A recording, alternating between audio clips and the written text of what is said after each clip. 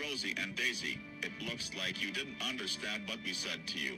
We said that you should not disrespect Daillou and Cody while we are not here, but it looks like you just disobeyed to us.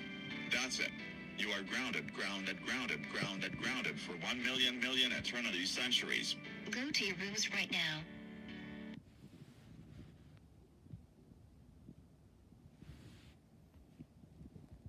and never ever thinking of getting out there because if you do, then you will have to get down with extreme punishment days very hard. Wow.